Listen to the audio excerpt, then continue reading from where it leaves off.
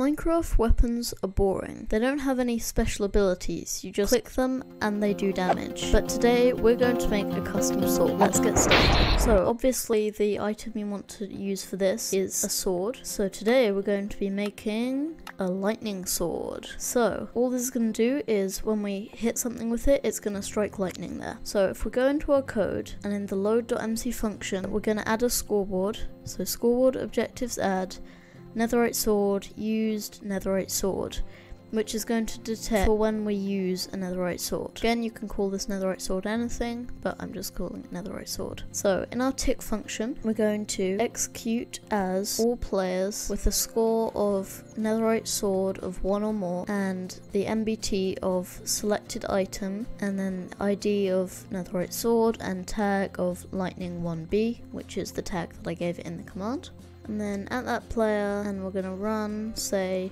I used a lightning sword. Then we're going to do the same thing as last time and we're going to copy that scoreboard player's set 0 and we're going to make it netherite sword instead of right click and now if we reload and summon a pig with no AI it says I used a lightning sword. Okay so now we're going to instead of saying that we're going to run a function and the function is going to be tutorial colon lightning. Okay so in here first we're going to do effect give at s resistance 1 4 true and that is going to make sure that the lightning strike is not actually going to affect us. Resistance 4 means that you don't actually take any damage, and true will mean we can't actually see it. We're going to execute as all entities with the distance of less than 5 because you can't reach more than 5 blocks, and NBT of hurt time 10s. What that means is if we go back into Minecraft and summon a pig, see when it goes like red like that, that is the hurt time, so 10s means any entity that's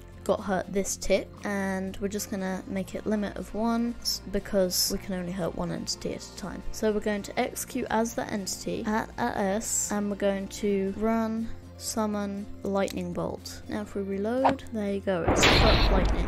And now if we go in survival, you can see that we only start taking damage from the fire, whereas if we summoned a normal lightning bolt, we take a bunch of damage before we start taking fire damage. Obviously you can replace all of the commands with anything you want, uh, but that is how to make custom swords. And if you want to learn how to make custom bows, the next video will be all about that. Goodbye!